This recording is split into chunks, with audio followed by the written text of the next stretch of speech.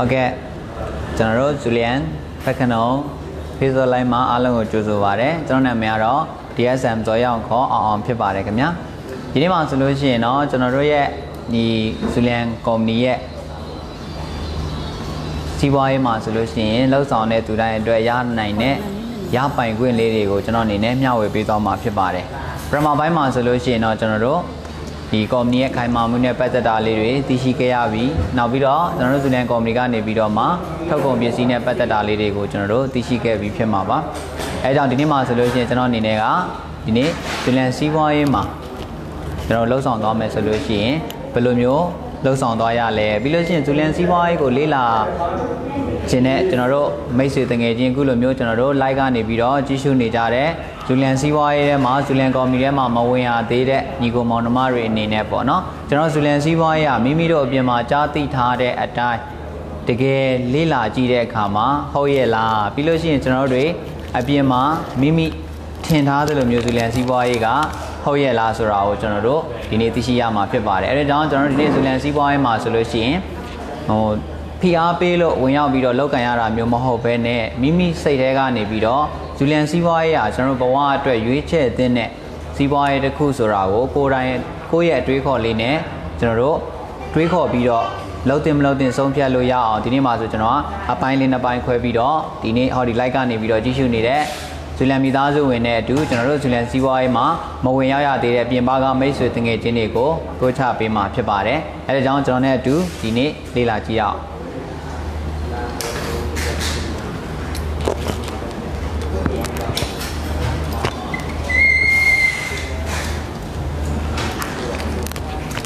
ဟုတ်ကဲ့ဒီ white board မှာကျွန်တော်ဒီနေ့ရေးပြမယ့်အရာကတော့အပိုင်းနှစ်ပိုင်းဖြစ်ပါတယ်ဒီအောက်ပိုင်းမှာဆိုလို့ရှိရင်တော့ကျွန်တော်တို့ဇူလန်စီးပွားရေးမှာမြည်သူမဆို စောစောပိုင်းကကျွန်တော်တို့ရဲ့ဇူလန်ကုမ္ပဏီရဲ့ခိုင်မာမှုနဲ့ပတ်သက်တာတွေကိုအနှဲငယ်သိရှိသွားပြီးတဲ့သူတွေပြီးလို့ရှိရင်ကျွန်တော်တို့ဇူလန်ကုမ္ပဏီကနေပြီးတော့မှထုတ်လုပ်ထားတဲ့ထုတ်ကုန်ပစ္စည်းနဲ့ပတ်သက်ပြီးတော့လေးလာသိရှိသွားပြီးတဲ့ကျွန်တော်တို့မိတ်ဆွေတငယ်ချင်းတွေပေါ့နော်ဒီဇူလန်ကုမ္ပဏီမှာကျွန်တော်တို့ကခုနကတော့မိတ်ဆက်ထားတဲ့ထုတ်ကုန်ပစ္စည်းတွေကိုမိမိကိုယ်တိုင်ကနေပြီးတော့လေးလာသိရှိပြီးနောက်ပိုင်းမှာဇူလန်စီးပွားရေးတွေကိုဝင်ရောက်ပြီးတော့လှုပ်ဆောင်တဲ့အခါမှာမိမိတီမဝင်ရောက်ခင်မှာမိမိကိုယ်တိုင်က ဝင်သင့်မဝင်သင့်စဉ်းစားဆုံးဖြတ်လို့ရအောင်ပြီးလို့ရှိရင်ဇူလန်စီးပွားရေးမှာမန်ပါဝင်ဖြစ်နေဝင်လိုက်ပြီဆိုတာနဲ့ဘာတွေရလာနိုင်လဲနောက်စီးပွားရေးဖြစ်လုံးမယ်ဆိုရင်ရောဘာတွေရလာနိုင်လဲဒါလေးကိုဒီနေ့ကျွန်တော်ကနေဒီနေရာမှာရှင်းပြပေးမှာဖြစ်ပါတယ်ဟောဒီပထမပိုင်းမှာကတော့ကျွန်တော်ဇူလန်စီးပွားရေးထဲမှာဘတ်ငွေလေး250ရင်းနှီးပြီးတော့ဝင်ရောက်လိုက်မယ်ဆိုလို့ရှိရင်မိမိအတွက်ပြန်ရလာမယ့်ရလဒ်တွေကဘယ်လိုမျိုးလဲအဲ့ဒီຢာတွေကိုကျွန်တော်ဒီနေ့သိရှိသွားပြီးနောက်ပိုင်းမှာကိုယ်တိုင်ကနေပြီးတော့ ဇူလန်စီးပွားရေးမှာဝင်သင့်မဝင်သင့်ဆိုတာကိုစဉ်းစားဆုံးဖြတ်လို့ရမှာဖြစ်ပါတယ်ဟုတ်ပြီဒါဆိုကျွန်တော်တို့အတူတူလေ့လာကြည့်အောင်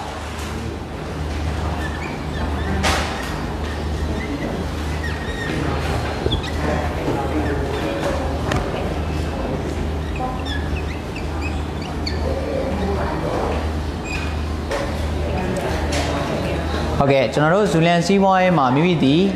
passport သို့မဟုတ်ကျွန်တော်တို့ဒီ CI နဲ့ကျွန်တော်တို့တွေကနေပြီးတော့ရှိထားပြီဆိုလို့ရှိရင်ဇူလန်စီးပွားရေးမှာမိမိကိုယ်တိုင်ကျွန်တော်တို့ဇူလန်ကုမ္ပဏီရဲ့ဆိုင်ခွဲအားထိုင်းနိုင်ငံထဲမှာဆိုလို့ရှိရင်လုံးပေါင်း200ကျော်ဖွင့်လှစ်ထားပါတယ်မိမိနဲ့နှီးစပ်တဲ့ဆိုင်ခွဲတိုင်းမှာဝင်ရောက်ပြီးတော့ကျွန်တော်တို့မိမိရဲ့ passport သို့မဟုတ် CI နဲ့ကျွန်တော်တို့ကနေပြီးတော့ဘတ်ငွေ250ကိုကျွန်တော်ရင်းနှီးပြီးတော့ဝင်ရောက်ပြီးတော့လေ့လာလို့ရပါတယ်အဲ့ဒီမှာဆိုရင်မိမိကဇူလန်စီးပွားရေးမှာဘတ်ငွေ250နဲ့ဝင်လိုက်ပြီဆိုတာနဲ့ ကော်မတီရဲ့ကိုယ်စားလှယ်တူဖြစ်သွားမှာဖြစ်ပါတယ်ကိုယ်စားလှယ်ကိုဒါကိုကျွန်တော်တို့တွေကနေပြီးတော့အတူကောက်အနေနဲ့အင်္ဂလိပ်လိုဆိုလို့ရှိရင်တော့ DS ခေါ်တာဖြစ်ပါတယ်ဒါ distributor ပေါ့နော်ကိုယ်စားလှယ်တယောက်ဖြစ်ပြီဆိုလို့ရှိရင်ကျွန်တော်တို့ရလာမယ့်ရပိုင်ခွင့်ကဘာတွေလဲဆိုလို့ရှိရင်ကိုယ်စားလှယ်တယောက်မှာဆိုလို့ရှိရင်ကျွန်တော်တို့ကော်မတီကနေပြီးတော့ကိုယ်စားလှယ်နံပါတ်9လုံးပေးလာမှာဖြစ်ပါတယ်ဒီကိုယ်စားလှယ်နံပါတ်9လုံးရရှိပြီးသည့်တင်တပြိုင်နဲ့ကျွန်တော်တို့ရပိုင်ခွင့်၄ချက်တိတိရမှာဖြစ်ပါတယ် ဒီလေးချက်ကိုကျွန်တော်ဒီနေ့ like ကနေကြီးရှုနေကြတဲ့ကျွန်တော်တို့ဇူလန်မိသားစုဝင်နဲ့ပြင်ပမိသားစုဝင်ဒီညမှာကျွန်တော်နည်းနည်းလေးထပ်ပြီးတော့ဖြည့်ဆွက်ပေးချင်တာကနားထောင်ခြင်းနှမျိုးနဲ့ကျွန်တော်တို့နားထောင်စေခြင်းတယ်ပေါ့နော်နံပါတ်1ကကျွန်တော်တို့ဇူလန်မိသားစုဝင်တွေဆိုလို့ရှိရင်မိမိကိုယ်တိုင်ဇူလန်ကုမ္ပဏီမှာဘတ်ငွေ250နဲ့ဝင်လဲဝင်ခဲ့ပြီးသည့်နောက်ပိုင်းမှာမိမိကိုယ်တိုင်ဝင်လိုက်ရခြင်းပေါ်မှာကျင်းတဲ့အားရမှုနဲ့မှန်ကန်မှုရှိမရှိ ဒါကိုသုံးသပ်ဖို့အတွက်တေချာလေးကြည့်ရှုပြီးတော့နားထောင်သိချင်ပါတယ်နံပါတ်2ကကြတော့ကျွန်တော်တို့ဇူလန်ကုမ္ပဏီမှာမဝင်ရသေးတဲ့ကျွန်တော်တို့ပြင်ပကမိတ်ဆွေတငယ်ချင်းတွေအနေနဲ့ကျွန်တော်ဇူလန်စီးပွားရေးမှာမိမိဒီဘတ်ငွေ150ရင်းနှီးပြီးတော့ဝင်ရောက်လောက်ကင်သည့်အခါမှာ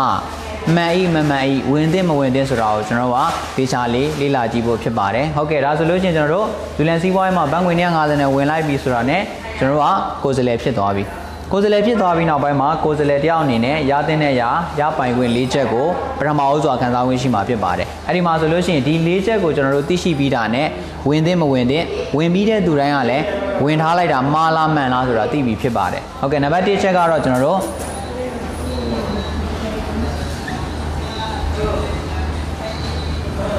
ကျွန်တော်ဇူလန်စီးပွားရေးမှာဇူလန်ကုမ္ပဏီမှာဝင်လိုက်ပြီဆိုတာနဲ့မိမိဒီကိုယ်စားလှယ်ဖြစ်ပြီးနောက်ပိုင်းမှာကုမ္ပဏီကနေပြီးတော့မိမိကြိုက်နေတဲ့ရာပစ္စည်းမျိုးစားပေါင်း100ကျော်တဲ့ကနေပြီးတော့ဝယ်ယူသုံးစွဲတဲ့အခါတိုင်းမှာအားလုံးဒီ15ရာခိုင်နှုန်းကျွန်တော်တို့ဈေးနှုန်းလျှော့ချပြီးတော့ကြောင်းချပေးမှာဖြစ်ပါတယ်။အဲကြောင့်ပထမအဆုံးခွင့်ရေးကတော့ကျွန်တော်တို့ကုမ္ပဏီရဲ့ကိုယ်စားလှယ်တိုင်းဒီ ကိုလိုအပ်တဲ့ပစ္စည်းတွေကိုဝယ်ယူသုံးစွဲတိုင်းမှာ15ရာခိုင်နှုန်းလျှော့သေးရမှာဖြစ်ပါတယ်။ဒီနေရာမှာထပ်ပြီးရှင်းအောင်ပြောရမယ်ဆို15ရာခိုင်နှုန်းဆိုတာကကျွန်တော်ဥပမာအပြင်ကျွန်တော်ရဲ့ဇူလန်ကုမ္ပဏီကထုတ်ကုန်ပစ္စည်းက100တန်နေဆိုပါစို့ပေါ့နော်ဒီနေရာမှာကိုယ်စားလှယ်တယောက်ဖြစ်သည့်အတွက်ကုမ္ပဏီကနေပြီးတော့85ဘတ်နဲ့ကျွန်တော်ရောင်းချပေးမှာဖြစ်သည့်အတွက်250နဲ့မန်ပါဝင်လိုက်တဲ့ကိုယ်စားလှယ်တယောက်ဒီ15ဘတ်ကျွန်တော်တို့တက်တာပြီဖြစ်ပါတယ်ဒါပထမအဆုံးမိမိအနေနဲ့ကိုလိုအပ်တဲ့ပစ္စည်းဇူလန်မှာကျွန်တော်ထုတ်ကုန်ပစ္စည်းတွေကနေ့စဉ်သုံးပစ္စည်းအလားကုန်ပစ္စည်း ကျန်းမာရေးအတွက်အာဟာရတက်စာနဲ့တဘာဝတန်လိုင်းနဲ့ထုတ်လုပ်ထားတဲ့ကျန်းမာရေးထောက်ကူပြုပစ္စည်းဆိုပြီးတော့အုပ်စု၄အုပ်စုအသေးစိတ်လိုက်ရင်တော့မျိုးစားပေါင်းယာနဲ့ချီပြီးတော့ထုတ်လုပ်ထားပါတယ်။အဲ့ဒီထဲကနေမှမိမိကြိုက်နေတဲ့ပစ္စည်းလိုအပ်တဲ့ပစ္စည်းကိုမိမိရဲ့ကိုယ်စားလှယ်နံပါတ်လေးကိုအသုံးပြုပြီးတော့မိမိနဲ့နီးစပ်တဲ့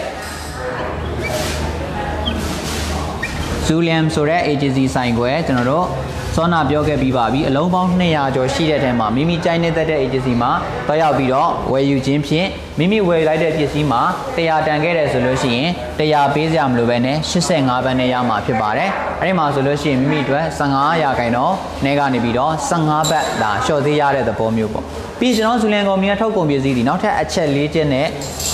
တက်တည်ပြလို့ရတယ်ပေါ့နော်နံပါတ်1ကတော့ကျွန်တော်တို့လူတိုင်းလိုအပ်တဲ့ပစ္စည်းဖြစ်တယ် လူတိုင်းလိုအပ်တဲ့ပစ္စည်းဖြစ်တယ်နံပါတ်2ကကြတော့ကျွန်တော်တို့အည်သွေးကောင်းတယ်အည်သွေးကောင်းတယ်ဆိုတဲ့နေရာမှာလဲကျွန်တော်တို့ကအချက်၃ချက်နဲ့ထောက်ပြလို့ရပါတယ်နံပါတ်1ကကျွန်တော်တို့ထုတ်ကုန်ပစ္စည်းတွေကိုပြင်ပမှာရှိတဲ့ထုတ်ကုန်ပစ္စည်းတွေနဲ့လက်တွေ့ရှင်ပြနှိုင်းရှင်လို့ရပါတယ်နံပါတ်1နံပါတ်2ချက်ကကြတော့ကျွန်တော်တို့သုံးဆွဲပူးတဲ့သူတိုင်း မေးကြည့်လို့ရှိရင်ကျွန်တော်တို့ဆိုရင်ကော်မတီထုတ်ကုန်ပစ္စည်းရဲ့အည်သွေးကိုသိရှိရမှာဖြစ်ပါတယ်။နောက်နံပါတ်3ချက်ကကြတော့ကျွန်တော်တို့စာအုပ်တွေထဲမှာထိုင်းမြန်မာကမ္ဘောဒီးယားအင်္ဂလိပ်ဒီဘာသာလေးမျိုးနဲ့ကျွန်တော်တို့ဘာသာပြန်ထားပြီးသားဖြစ်ပါတယ်။အဲဒီမှာကျွန်တော်တို့ဝင်ရောက်ပြီးတော့လေ့လာကြည့်လို့ရှိရင်ပစ္စည်းရဲ့အည်သွေးကောင်းမကောင်းကိုသိရမှာဖြစ်ပါတယ်။နောက်နံပါတ်3အနေနဲ့ကကြတော့ကျွန်တော်တို့ကုန်ကြစိတ်ကိုတက်တာစေတယ်။ နော်စာတော့ကျွန်တော်အဆုံးထိမရေးတော့ဘူးเนาะကျွန်တော်ရဲ့အတန်ကိုနားထောင်ပြအပြင်ကျွန်တော်နားလဲမှာပါကုန်ကြစိတ်ကို short ချပြီးသားလည်းဖြစ်တယ်လို့တက်တာစေတယ်ဆိုတဲ့အပိုင်းကဏ္ဍမှာကျွန်တော်စောစောတော့ကမိတ်ဆက်သွားတဲ့ထုတ်ကုန်ပစ္စည်းထဲမှာကျွန်တော်ဆက်ပြမုံကိုဥမာပြောရမယ်ဆိုလို့ရှိရင်ဆက်ပြမုံတစ်ဖာမှာကျွန်တော်တို့ဖာအကြီးအသေးရှိပါတယ်ဖာအသေးမှာဆိုလို့ရှိရင်တစ်ဖာမှာ1ကီလိုရှိပြီးတော့သူ့ထဲမှာဆိုလို့ရှိရင်အစွန်းပေါင်း40ပါပါတယ်အစွန်းပေါင်း40မှာဆိုရင်တစွန်းရဲ့ပမာဏအတီကျွန်တော်တို့ပြင်မာသုံးဆွဲနေတဲ့10ဘတ်တန်တစ်ထုံနဲ့ညီမျှတယ် ဒါဆိုကျွန်တော်ဥမာအပြင်ဒီတစ်ဖာဒီကျွန်တော်တို့တစ်လသုံးရတဲ့ဆိုလို့ရှိရင်အပြင်မှာထုတ်သေး40ကုန်မှာဖြစ်ပါတယ်ထုတ်သေး40ကုန်ပြီဆိုတော့တေချာပေါက်ကျွန်တော်တို့400ကုန်ပြီဖြစ်ပါတယ်အဲ့တော့ကျွန်တော်တို့ဒီအားတွေမပြီးသေးဘဲနဲ့ဝစ်စားတွေကညစိတ်မနဲ့မိုးလင်းရင်ပုတ်တဲ့နံတယ်ဒီတော့အမွေးစီတွေကျွန်တော်တို့ဝယ်ရသေးတယ်နောက်လျှော်လို့မစင်ချွတ်စီးတွေဝယ်ရသေးတယ်ဒီလိုမျိုးပိုကုန်ကြားစိတ်တွေရှိသေးတယ်ပေါ့နော်ဒီနေရာမှာကျွန်တော်အနေနဲ့ပိုကုန်ကြားစိတ်တွေကိုမထည့်တွက်ပဲနဲ့ဆက်ပြရဲ့ကုန်ကြားစိတ်တွေတော့မှတစ်လမှ400ကုန်ပြီ ကျွန်တော်ကုမ္ပဏီကဒီထုတ်ကုန်ပစ္စည်းဖြစ်တဲ့ Extra Power ဆက်ပြမုံကိုပြောင်းသုံးခြင်းအပြင်တစ်လမှာ200ကျော်ပဲကုန်မှာဖြစ်ပါတယ်။ဒါဆိုရင်400ကျော်ကုန်နေကြနေရာကနေပြီးတော့ Extra Power ဆက်ပြမုံကိုပြောင်းသုံးတဲ့နေရာနေစပြီးတော့200ကျော်ပဲကုန်တော့မှာဖြစ်တဲ့အတွက်ကျွန်တော်တို့အားလုံးရဲ့ကုန်ကြစိတ်တွေကိုချောချပြီးသားမဖြစ်တော့ဘူးလား။အခြားသောပစ္စည်းတွေမှာလည်းဒီတိုင်းပဲကျွန်တော်တို့ကုန်ကြစိတ်တွေကိုတက်တာစီမှာဖြစ်ပါတယ်။ဒါနံပါတ်3ချက်ပေါ့နော်။နံပါတ်4ချက်ကကြတော့ကျွန်တော်ဇူလန်ကုမ္ပဏီမှာရှိတဲ့ထုတ်ကုန်ပစ္စည်းတိုင်းကိုရောင်းချတဲ့အခါမှာဝယ်ယူသူတွေကိုအာမခံချက် ရှိရှိနဲ့ရောင်းချခြင်းဖြစ်ပါတယ်ခုနကျွန်တော်ပြောခဲ့တဲ့အတိုင်းပဲကျွန်တော်စူလန်ကုမ္ပဏီကထုတ်ကုန်ပစ္စည်းသည်ညစိန်လို့မနဲ့မိုးလင်းသွားတဲ့အခါမှာနန်ခဲ့တယ်ဆိုရင်အဲ့ဒီဆက်ပြမုံကိုကျွန်တော်တို့ကငွေနဲ့ပြန်လဲပေးမှာဖြစ်ပါတယ်နော်ဘာကြောင့်လဲဆိုလို့ရှိရင်အာမခံချက်ပေးရလို့ဖြစ်ပါတယ်အဲ့တော့ကျွန်တော်ဒီထဲမှာကြည့်ရှုနေတဲ့ညီကိုမောင်နှမတွေအနေနဲ့ပေါ့နော်ကျွန်တော်ဇူလန်ကုမ္ပဏီကထုတ်ကုန်ပစ္စည်းတွေဒီတဲ့နံပါတ်1 လူတိုင်းလိုအပ်တဲ့ပစ္စည်းဖြစ်သလိုနံပါတ်2အည်သွေးလဲတာမန်ပစ္စည်းတွေထက်ကောင်းမွန်တဲ့ပစ္စည်းဖြစ်သလိုကုန်ကျစရိတ်တွေကိုလည်းတက်တာစေမှာဖြစ်တဲ့အပြင်ကျွန်တော်သုံးဆွဲတဲ့သူတိုင်းကိုလည်းအာမခံချက်နဲ့ရောင်းချပေးတာဖြစ်တဲ့အတွက်ဒီလေးချက်လုံးကိုအားလုံးကြိုက်နေသက်လိမ့်မယ်လို့ကျွန်တော်ယုံကြည်ပါတယ်ကျွန်တော်လည်းအဲ့ဒီလေးချက်လုံးကိုကြိုက်နေသက်တဲ့အတွက်ဇူလန်စီးပွားရေးထဲမှာစတင်ဝင်ရောက်ဒီမှာစရွေယနေ့ထိတိုင်လဲဇူလန်ကုမ္ပဏီကထုတ်ကုန်ပစ္စည်းတွေကိုရာခိုင်နှုန်းပြည့်သုံးစွဲနေတာဖြစ်ပါတယ် ဟုတ်ကဲ့ဒါဆိုလို့ရှိရင်ဒီလေးချက်ကိုကျွန်တော်မိမိကိုယ်တိုင်လည်းကြိုက်နေတတ်တယ်လို့မိတ်ဆွေတငယ်ချင်းတွေလည်းကြိုက်နေတတ်မယ်ဆိုတာကျွန်တော်ယုံကြည်ပါတယ်အဲဒါကြောင့်ကျွန်တော်မိတ်ဆွေတငယ်ချင်းတွေကိုလည်းအခုလိုမျိုးဒီလေးချက်နဲ့ပြန်ပြီးတော့မိတ်ဆက်ပေးမယ်ဆိုလို့ရှိရင်တို့တွေဒီကျွန်တော်ဇူလန်ကုမ္ပဏီထုတ်ကုန်ပစ္စည်းတွေကိုအစမ်းသဘောမျိုးနဲ့ဖြစ်စီသုံးဆွဲလာမှာသိကြပါတယ်ဒါတို့ကြောင့်ကျွန်တော်သုံးဆွဲခြင်းအပြင်မိတ်ဆွေတငယ်ချင်းတွေအတွက်လည်းပစ္စည်းမှန်ဈေးမှန်နဲ့ ကျွန်တော်တို့ကျမ်းမာရေးအတွက်လည်းထောက်ကူပြုသလိုကုန်ကြစိတ်တွေလည်းတက်တာစေတဲ့အကျိုးကျေးဇူးတွေရရှိမှာဖြစ်သလိုမိမိအတွက်လည်းဘယ်လိုအကျိုးမြတ်တွေရလဲဆိုတာကျွန်တော်နောက်ထပ်နံပါတ်1ချက်မှာရှင်းပြပေးပါမယ်နံပါတ်2ချက်မှာဆိုလို့ရှိရင်ကျွန်တော်ဒီပစ္စည်းတွေမှာဆိုလို့ရှိရင်မိမိရောင်းချလိုက်တဲ့အတွက်အမျက်ငွေဆိုပြီးတော့လည်းခံစား권ရှိမှာဖြစ်ပါတယ်ဒီမျက်ငွေကလည်းကျွန်တော်တို့15ရာခိုင်နှုန်းဒီနေ့မှာဆိုလို့ရှိရင်ကျွန်တော်တို့ဒါရိုးရှင်းဆုံးနဲ့အားလုံးနားလည်စေနိုင်တဲ့အရာလေးနဲ့ကျွန်တော်ပြောပြပေးမှာဖြစ်ပါတယ် ဒီမြတ်ငွေ15ခိုင်နှုန်းဆိုတာကဘယ်လိုမျိုးရတာလဲဆိုလို့ရှိရင်စောစောတုန်းကကျွန်တော်မိတ်ဆွေတွေနံပါတ်1ချက်မှာမိမိဝယ်ယူသုံးစွဲလိုက်တဲ့ပစ္စည်းက100တန်တယ်ဆိုရင်အဲ့ဒါကို85ဘတ်နဲ့ရလိုက်တယ်နော်အဲ့ဒါကိုမှကျွန်တော်ဒီနေရာမှာမိတ်ဆွေရဲ့တငယ်ချင်းတွေကိုပြန်ပြီးတော့ဖြန့်ကြည့်တဲ့အခါမှာတို့တွေဒီကော်မီရဲ့ကိုယ်စားလှယ်မဟုတ်တဲ့အတွက်100တန်တဲ့ပစ္စည်းကိုကျွန်တော်တို့ကခုနမိမိ85ဘတ်နဲ့ရလိုက်တဲ့ပစ္စည်းကို100တန်တဲ့ပစ္စည်းဖြစ်တဲ့အတွက်100အပြည့်ပြန်ပြီးတော့ sorry 85ဘတ်နဲ့မရောင်းမဲနဲ့100အပြည့်ပြန်ရောင်းခြင်းအပြင်မိမိအတွက်15ဘတ်ဒါဒီအမျက်ကြံမှာဖြစ်ပါတယ်အဲ့တော့ကျွန်တော်ပြောချင်တာကဇူလန်ကုမ္ပဏီမှာမိမိကိုမိမိဒီကိုယ်စလဲတယောက်ဖြစ်တာတဲ့အတွက်မိမိဝယ်ယူသုံးစွဲတဲ့အခါမှာ15ရာခိုင်နှုန်းဒီလျှော်ဈေးရတဲ့အတွက်ဒါကိုဥမာအပြင်15ဘတ်လျှော်ဈေးရတယ်လို့ကျွန်တော်ပြောခြင်းဖြစ်ပါတယ်ပြီးလို့ရှိရင်မိမိဒီကုမ္ပဏီရဲ့ကိုယ်စလဲဖြစ်သည့်အပြင်ကျွန်တော်တို့မိတ်ဆွေတငယ်ချင်းမိမိရဲ့မိတ်ဆွေတငယ်ချင်းတွေဒီကုမ္ပဏီရဲ့ကိုယ်စလဲမဟုတ်သေးသည့်အတွက်မိတ်ဆွေတငယ်ချင်းတွေကိုပြန်ပြီးတော့ ရောင်းချပေးတဲ့အခါမှာသူတို့တွေဒီဈေးနှုန်းရဲ့အပြည့်ကိုပြန်ပြီးတော့ပေးရမှာဖြစ်တဲ့အတွက်မိမိ85ဘတ်နဲ့ရလိုက်တဲ့ပစ္စည်းဒီပြန်ရောင်းတဲ့အခါမှာသူဈေးနှုန်းမှန်100တိုင်းပြန်ရောင်းတော့မိမိအတွက်15ဘတ်ဒီအမြတ်အဖြစ်ရရှိမှာဖြစ်ပါတယ်ဒါကတော့နှစ်ချက်ဒါရင်မပြီးသေးဘဲနဲ့ကျွန်တော်နံပါတ်3ချက်မှာဆိုလို့ရှိရင်ထုတ်ကုန်ပစ္စည်းတိုင်းမှာတဲ့ PV လို့ခေါ်တဲ့ကျွန်တော်တို့အမှတ်တွေရရှိထားတာဖြစ်သည့်အတွက်အဲ့ဒီအမှတ်တွေကနေပြီးတော့မှကျွန်တော်တို့15ရက်တစ်ကြိမ်ဘောနက်စုကြီးငွေဆိုပြီးတော့အကန့်အသတ်မရှိ 10ကနန်းကနေမှတန်းကနန်းအထိရပိုင်ခွင့်ရှိမှာဖြစ်ပါတယ်အဲ့တော့ဒီသုံးချက်ပြီးသွားတဲ့အပြင်ကျွန်တော်တို့နံပါတ်၄ချက်မှာဆိုလို့ရှိရင်ကိုပိုင်စီးပွားရေးအဖြစ်လည်းလုံးပိုင်ခွင့်ရှိမှာဖြစ်ပါတယ်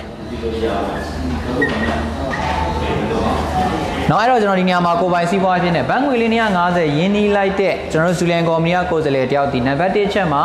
ဇူလန်ကုမ္ပဏီမှာရှိတဲ့ထုတ်ကုန်ပစ္စည်းမျိုးစားပေါင်း100ကျော်လုံးကိုမိမိဝယ်ယူသုံးစွဲတဲ့အခါမှာရှော့ဈေးအဖြစ်နဲ့ရာသက်ပံရရှိပိုင်ရရှိမှာဖြစ်ပြီးနောက်ပိုင်းမှာမိမိကိုယ်တိုင်ကသုံးကောင်းလုံးမိတ်ဆွေတငယ်ချင်းတွေကိုပြန်ပြီးတော့မျှဝေတဲ့အခါမှာရောင်းရခြင်းရဲ့ပုံမှာလည်းအမြတ်ငွေ15ခိုင်နှုန်းပြန်လဲခံစားဝင်ရှိမှာဖြစ်ပါတယ်။ဒါရင်မကသေးဘဲနဲ့ပစ္စည်းတိုင်းမှာရရှိတဲ့အမှတ်တွေကို15ရက်တစ်ကြိမ်15ရက်တစ်ကြိမ်ကုမ္ပဏီကနေပြီးတော့မှပြန်ပြီးတော့ဘောနက်စုချင်းငွေကော်မရှင်ကအနေနဲ့ပြန်ရမှာဖြစ်ပါတယ်။ ဒါရင်မပြီးသေးဘဲနဲ့ကျွန်တော်နံပါတ်၄ချက်မှာကိုပိုင်စီးပွားရေးဖြစ်လဲဇူလန်မှာလုံးပိုင်ခွင့်ရှိမှာဖြစ်ပါတယ်ဒီနေရာမှာကိုပိုင်စီးပွားရေးဖြစ်နဲ့လုံးဆောင်တဲ့နေရာမှာကျွန်တော်အနေနဲ့အနေငယ်လေးကျွန်တော်တာမန်စီးပွားရေးနဲ့ရှင်ပြရမယ်ဆိုလို့ရှိရင်ဥပမာအားဖြင့်ပေါ့နော်ကျွန်တော်7တစ်လုံးကိုမိမိ7ဆိုင်ခွဲတစ်လုံးကိုပိုင်ဆိုင်ဖို့ဆိုလို့ရှိရင်အနည်းဆုံးဘတ်ငွေ3တန်းအထက်ကျွန်တော်တို့ရင်းနှီးရှိမှဖြစ်မှာဖြစ်ပါတယ် အဲ့တော့ကျွန်တော်ဆိုင်ခွဲတစ်လုံးပိုင်ဆိုင်လိုက်ပြီးထားလိုက်အောင်ဒါဆိုရင်7တစ်လုံးဖွင့်ဖို့အတွက်ကျွန်တော်တို့ကဘတ်3တန်းရင်းနှီးရှိရမယ်ပြီးရင်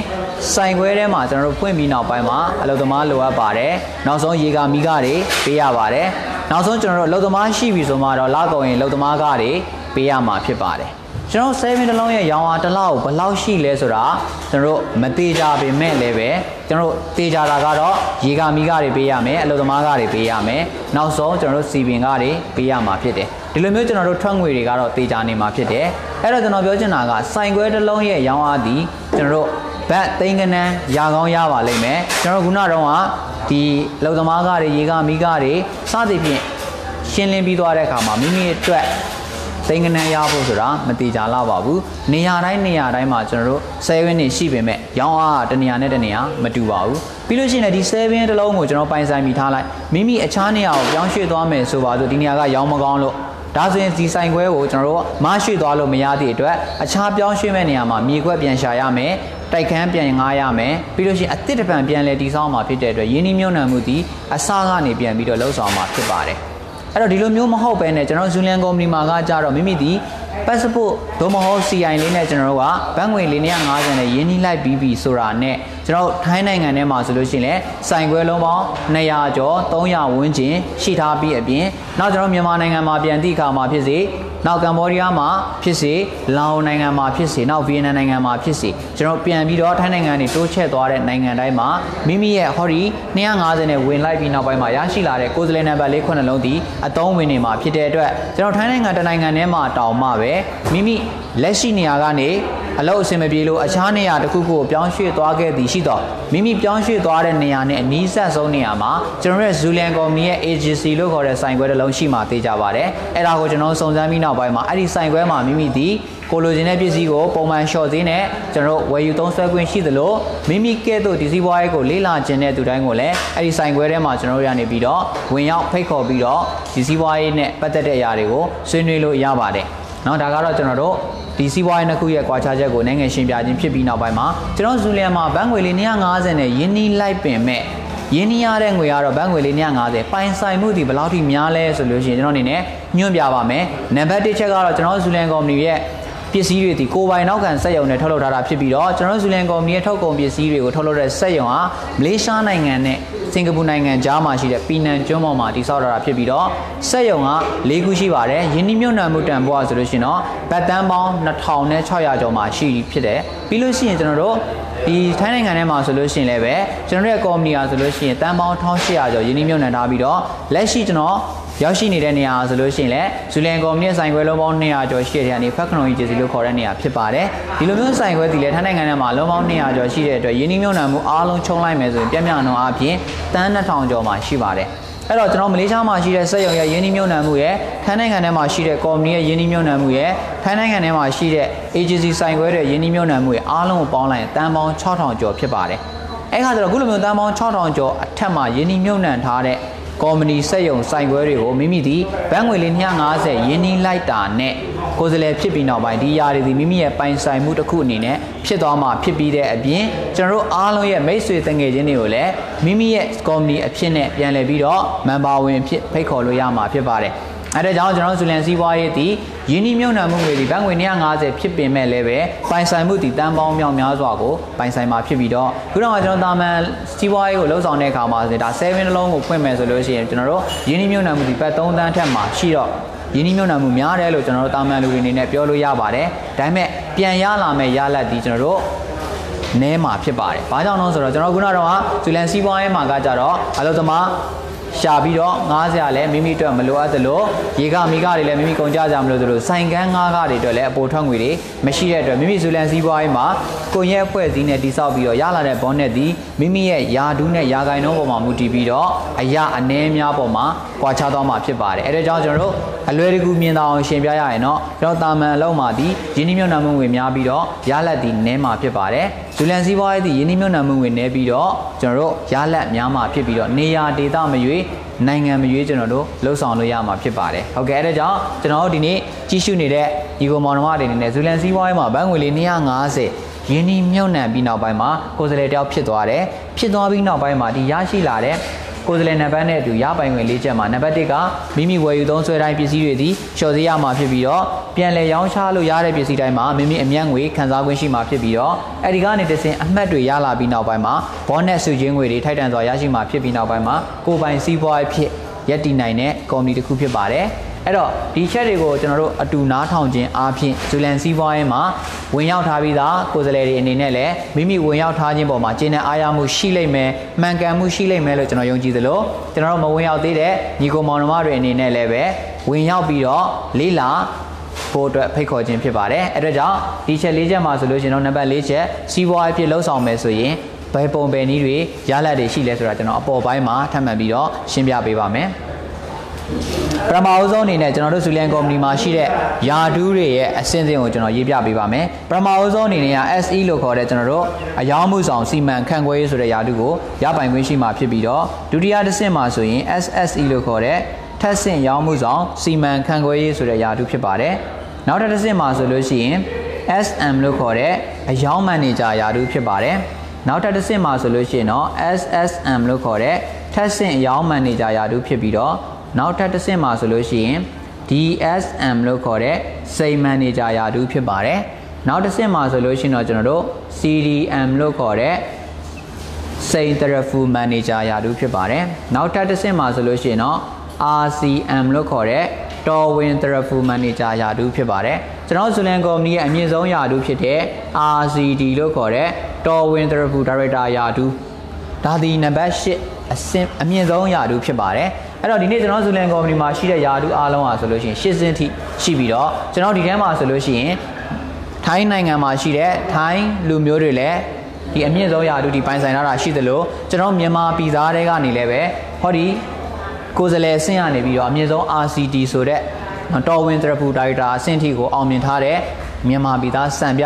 ခေါင်းဆောင်တွေလည်းရှိနေပြီဖြစ်ပါတယ်အဲဒါကြောင့်ဒီလိုမျိုးအောင်မြင်အောင်မြင်မှုအမြင့်ဆုံးထိရရှိထားတဲ့ကျွန်တော်မြန်မာပြည်သားတွေကစံပြခေါင်းဆောင်ဆရာတွေကဆိုလို့ရှိရင်လည်းပဲထိုင်းနိုင်ငံမှာကျွန်တော်တို့20ရာစုလောက်အထိထိုင်းနိုင်ငံထဲမှာတာမန်လုံသမားအဖြစ်နဲ့ကျင်လည်ခဲ့ရပြီးနောက်ပိုင်းမှာတလုံးမကောင်းတလုံးပြောင်းရင်းနဲ့လှုပ်ဆောင်ခဲ့ပြီးနောက်ပိုင်းမှာတနေ့မှာဇူလန်စီးပွားရေးကိုတွေ့ရှိပြီးနောက်ပိုင်းမှာတေချာလေးလာပြီးနောက်ပိုင်း ဆုံးဖြတ်ချက်မှန်မှန်ကန်ကန်ချပြီးတော့လှုပ်ဆောင်ခဲ့ရယနေ့မှဆိုလို့ရှိရင်အမြင့်ဆုံးရာတူးနဲ့အတူအောင်မြင်မှုတွေရရှိတာဖြစ်တယ်အမြင့်ဆုံးရာတူးနဲ့အောင်မြင်မှုဘယ်လောက်ထိရနိုင်လဲဆိုတော့ကျွန်တော်အစဉ်လိုက်ရေးပြီးတော့ပြောပြပေးသွားမှာဖြစ်ပါတယ်ပထမဆုံးအနေနဲ့ SE ဆိုတဲ့ယာတုကိုကျွန်တော်တို့ရရှိပြီဆိုလို့ရှိရင်မိမိအတွက်ရလက်ကဘယ်လိုမျိုးလဲဆိုလို့ရှိရင်ကျွန်တော်ဇူလန်ကုမ္ပဏီမှာ SE လို့ခေါ်တဲ့အယောင်းမှုဆောင်စီမံခန့်ခွဲယာတုရရှိပြီးတဲ့သူတိုင်းကိုကျွန်တော်တလားရဲ့ဝင်ငွေဘတ်8000ကနေပြီးတော့မှဘတ်1000အထက်ထိရပိုင်ခွင့်ရှိမှာဖြစ်ပါတယ် ပြီးလို့ရှိရင်ကျွန်တော်ဆူလန်ကော်မတီရပိုင်ခွင့်အားလုံးက12ချက်ရှိပါတယ်အဲ့ဒီ12ချက်တွေကနေပြီးတော့မှ3ချက်အထိကိုရပိုင်ခွင့်ရှိမှာဖြစ်ပါတယ်တကယ်လို့ကျွန်တော်ဒီထဲမှာကြီးစုနေတဲ့ကျွန်တော်ညီကိုမောင်နှမတွေအနေနဲ့ဇူလန်ကုမ္ပဏီမှာလာရောက်ပြီးတော့လေးလာပြီးစီးပွားရေးဖြစ်လောက်ကင်တဲ့သူတိုင်းကျွန်တော်ပထမအဆုံးအနေနဲ့ အယောင်မှုဆောင်စီမံခန့်ခွဲရေးဆိုတဲ့ယာတုကိုရရှိပြီးသည်နဲ့တပြိုင်တည်းကျွန်တော်တို့ဇူလန်ကုမ္ပဏီကနေပြီးတော့မှယာတုလိုက်ရပိုင်ခွင့်ကတော့တလဝင်ငွေဘတ်ရှင်းတော်ကနေ1000ထိရမှာဖြစ်တဲ့အတွက်ဒီယာတုနဲ့ဒီရပိုင်ခွင့်တွေကိုရပြီဆိုတော့ကျွန်တော်တို့သူများရဲ့အလုပ်သမားဘဝနေကျင်းသေးလွတ်မြောက်ခွင့်ရှိမှာဖြစ်ပါတယ်အဲ့တော့ကျွန်တော်ဟောဒီယာတုကိုရရှိဖို့အတွက်ဘယ်လိုပဲပုံလုပ်ရလဲဆိုရင်ဒီဘက်မှာကျွန်တော်တို့က SE ဆိုတဲ့ရောင်းမှုဆောင်စီမံခန့်ခွဲရေးဆိုတဲ့ယာတုကိုရဖို့စုစုပေါင်းကျွန်တော်ရောင်းအားတွေတဲကနေပြီးတော့ရရှိတဲ့အမှတ်9000ဆိုတာစုရမှာဖြစ်ပါတယ် ဒီအမှတ်9000ရဲ့ကျွန်တော်တို့ရောင်းအားဒီဘဏ်ငွေနဲ့တွက်မယ်ဆိုရင်ဘယ်လောက်လောက်ရှိနိုင်လဲဆိုရင်ဘတ်တသိန်း3000နဲ့9000ဝန်းကျင်လောက်ကျွန်တော်တို့ရှိမှာဖြစ်ပါတယ်ဒါကိုကျွန်တော်တို့ကမိမိတူတယောက်တည်းဝယ်ယူပြီးရောင်းချဖြန့်ချီစရာမလိုပဲနဲ့ကျွန်တော်ကအဖွဲ့အစည်းနဲ့လှုပ်လို့ရနိုင်တဲ့နည်းလမ်းတွေကျွန်တော်ဒီနေရာမှာချပြပေးပါမယ်ဥပမာအပြင်ကျွန်တော်မိမိကနေပြီးတော့တူတယောက်တည်းပဲအမှတ်9000ဖြည့်ဖို့စူးစမ်းမယ်ဆိုလို့ရှိရင်တော့ဘတ်ငွေ33000နဲ့မှ9000ဘတ်လောက်မိမိ ရောင်းအားရှိဖို့လိုအပ်ပါတယ်ဒီညမှာကျွန်တော်တို့ကတယောက်တည်းလုပ်မယ်ဆိုရင်ပြင်ပန်းမယ်ခက်ခဲမယ်ဆိုတာသိကြတဲ့အတွက်မိမိကနေပြီးတော့တူတယောက်တည်းမလုပ်ဘဲနဲ့အဖွဲ့အစည်းနဲ့လုပ်ချင်တယ်ဆိုရင်ကျွန်တော်တို့မိမိကိုယ်တိုင်ကနေဇူလန်ကုမ္ပဏီရဲ့ထုတ်ကုန်ပစ္စည်းတွေရဲ့အားသာချက်၄ချက်ကိုပြန်ပြီးတော့မျှဝေပေးရင်ရပါတယ်အဲ့ဒီမှာပါလဲဆိုနံပါတ်1ကကျွန်တော်ဇူလန်ကုမ္ပဏီရဲ့ထုတ်ကုန်ပစ္စည်းတွေဒီလူတိုင်းလိုအပ်တဲ့ပစ္စည်းတွေဖြစ်တယ် ပြီးရင်လူတိုင်းကလည်းရည်တွေးကောင်းတဲ့ပစ္စည်းဆိုရင်ကြိုက်နေတတ်တယ်ကုန်ကြားစိတ်သက်သာတယ်ဆိုရင်သုံးကျင်တယ်အာမခံချက်ရှိတဲ့ပစ္စည်းကိုမှလည်းရဲရဲဝံ့ဝံ့နဲ့သုံးဆွဲကြတယ်ဒီလေးချက်ကိုမိမိကိုယ်တိုင်လည်းကြိုက်နေတတ်တယ်လို့မိမိရဲ့မိတ်ဆွေတငယ်ချင်းတွေကိုလည်းပြန်ပြီးတော့မျှဝေပေးမယ်ပြီးရင်အကျိုးစီးပွားဖြစ်ထွန်းပုံလေးတွေကိုလည်းရှင်းပြမယ်ကျွန်တော်တေချာပေါက်ကျွန်တော်တို့ဒီနေရာမှာမိမိနဲ့စိတ်တူကိုယ်တူတွေရှိလာမှာဖြစ်ပါတယ်အဲ့တော့ဒီနေရာမှာဥမာအပြင်မိမိရဲ့မိတ်ဆွေတငယ်ချင်းတွေကနေမိမိကဲ့သို့စိတ်တူကိုယ်တူလူ10ဦးလောက်ကျွန်တော်တို့ရှာဖွေတွေးရှိခဲ့မယ်ဆိုရင်တော့ တယောက်ချင်းစီကျွန်တော်တို့အညီတူညီမျှတာဝန်လေးတွေခွဲပြီးတော့လှုပ်ဆောင်ကြမယ်ဆိုရင်တော့တယောက်မှအမှတ်900စီလောက်ပဲကျန်တော့မယ်ဒါဆိုရင်ကျွန်တော်ရောင်းအားလိုက်မှာဆိုလို့ရှိရင်လေတယောက်မှဘတ်13000နဲ့900ဘိုးစီလောက်ပဲရောင်းစရာလိုတော့တယ်ဒီနာမှာလဲကျွန်တော်တို့ဒီ10ယောက်ကလည်းပဲတယောက်ချင်းစီဘတ်1000ခန်းအထိမရောင်းကျင်သေးဘူးဆိုလို့ရှိရင်လည်းဒီထက်သက်သာတဲ့နီလန်းရှာလို့ရပါသေးတယ်အဲ့ဒါကဘာလဲဆိုရင်ဟောဒီ10ယောက်တည်လဲပဲခုနအချက်၄ချက်ကိုကိုစီကိုစီနားလဲသဘောပေါက်ပြီးနောက်ပိုင်းမှာ သူတို့ရဲ့မိတ်ဆွေတငယ်ချင်းတွေကိုလည်းဒီ၄ချက်နဲ့အတူရှင်းပြခြင်းအားဖြင့်ဟောဒီမိတ်ဆွေ10ဦးမိမိရဲ့အဖွဲ့ဝင်10ဦးမှာလည်းပဲသူတို့ရဲ့မိတ်ဆွေ10ဦးစီရှိမှာဖြစ်တဲ့အတွက်တယောက်မှာ10ဦးရှိရင်10ယောက်ဆိုရင်ကျွန်တော်တို့အယောက်100ဖြစ်လာမှာဖြစ်ပါတယ်တကယ်လို့အယောက်100ရှိလာပြီဆိုရင်တော့တယောက်မှာအမှတ်60ဆိုရင်ဘတ်1300နဲ့50စီပဲကြာတော့မှာဖြစ်တဲ့အတွက်ကျွန်တော်တို့ ဘတ်1300နဲ့ညီမျှတဲ့ထုတ်ကုန်ပစ္စည်းကိုဝယ်ယူလိုက်တဲ့အခါမှာအမှတ်60ရမှာဖြစ်ပြီးတော့ဒီအမှတ်60နဲ့ညီမျှတဲ့ထုတ်ကုန်ပစ္စည်းဒီရောင်းစရာတော့မလိုဘဲနဲ့မိမိလိုအပ်တဲ့ပစ္စည်းဝယ်ယူရုံနဲ့တင်အမှတ်60မှာကရှိနေပါပြီအဲကြောင့်ဒီနေ့ကြည့်နေတဲ့ကျွန်တော်ညီကိုမောင်နှမတွေအနေနဲ့ဟောဒီ SE ဆိုတဲ့ရောင်းမှုဆောင်စီမံခန့်ခွဲရာထူးနဲ့ဝင်ငွေတစ်လမှာ8000တထောင်ရဖို့အတွက်မိမိကိုယ်တိုင်ဘတ်ငွေသိန်းနဲ့ချီပြီးတော့ယင်းနှမြုပ်နှံကြမလို့သလိုမိမိကိုယ်တိုင်လည်းအမှတ်6000ကိုရှာဖွေစရာမလိုတဲ့အပြင်မိမိနဲ့အတူလက်တွဲမဲ့မိတ်ဆွေတငယ်ချင်းတွေ ကျွန်တော်10ယောက်ကနေအယောက်100အယောက်1000အယောက်1000ဆိုတာရှိလာမှာဖြစ်တဲ့အတွက်ထင်းသလိုမျိုးမခက်ခဲဘူးဆိုတာကိုနားလည်စေချင်ပါတယ်။ အဲကြောင့်ကျွန်တော်တို့ဇူလန်စီးပွားရေးမှာမိမိဒီတက်တက်လုံးလဲလူတွေရှာဖွေရမှာမဟုတ်တယ်လို့တက်တက်လုံးလဲပစ္စည်းတွေကိုအမြဲတမ်းရောင်းနေရမှာမဟုတ်တဲ့အတွက်မိမိကိုယ်တိုင်ကပထမအဆုံးပစ္စည်းတွေကိုမိတ်ဆက်ခြင်းကျွန်တော်မိတ်ဆွေတငယ်ချင်းတွေရှာဖွေခြင်းသည်မိမိကဲ့သို့ပစ္စည်းကောင်းကြောင်းကိုအများကိုသိစေခြင်းနဲ့ဆန္ဒနဲ့သုံးဆွဲစေခြင်းဖို့ဖြစ်တယ်လို့ကျွန်တော်မိတ်ဆွေတငယ်ချင်းတွေကိုရှာဖွေခြင်းကလည်းပဲမိမိကဲ့သို့အကျိုးစီးပွားရေးကိုထက်တူထက်မြတ်ခံစား권တွေရရှိစေဖို့လိုက်လံပြီးတော့မျှဝေခြင်းဖြစ်ပါတယ်အဲ့တော့မိမိဒီ ထုတ်ကုန်ပစ္စည်းတွေကိုဘယ်လောက်ကြာတိဖြန့်ချီရမလဲအဲကိုယ်စလဲတွေဘယ်လောက်ကြာတိရှာဖွေနေရမလဲဆိုရင်မိမိနဲ့အတူစိတ်တူကိုယ်တူလူ10ယောက်မပြည့်စုံခင်လေးမှာပဲကျွန်တော်တို့တွေပင်ပန်းမယ်ခက်ခဲရင်ခက်ခဲပါလိမ့်မယ်အဲ့ဒီ10ဦးရရှိလာပြီဆိုတဲ့နေ့မှာမိမိကဲသို့ရောင်းချပုံရောင်းချနည်းမိမိကဲသို့ကွန်ရက်တိဆောက်ပုံတိဆောက်နည်းကိုပြန်လည်ပြီးတော့လက်ဆင့်ကမ်းပေးလိုက်ခြင်းအားဖြင့်အဲ့ဒီ10ဦးကနေအယောက်100အယောက်1000အယောက်1000ကိုမိမိရှာဖွေကြမလို့ပဲနဲ့ အလိုလျောက်ရောက်ရှိလာမှာဖြစ်ပါတယ်။ Okay ဒါဆိုရင်ကျွန်တော်ဒီစီးပွားရေးမှာမိမိလူ10ဦးနဲ့စတင်ပြီးတော့တိဆောက်ရမှာဖြစ်ပါတယ်။